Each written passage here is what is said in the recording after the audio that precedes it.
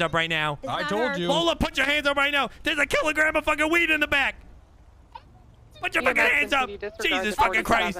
Jesus Christ. Officer, it ain't. Face It's away. Face away. Face away. You're under arrest for trafficking in marijuana. You're done. Officer, officer, it's not hers. It's mine. I take responsibility. Ma'am, are you reaching for something? No, I'm Ma'am. not reaching, officer. Ma'am, don't reach. Ma'am? Reach it. Ma'am, don't reach. Reach. Ma'am, don't reach.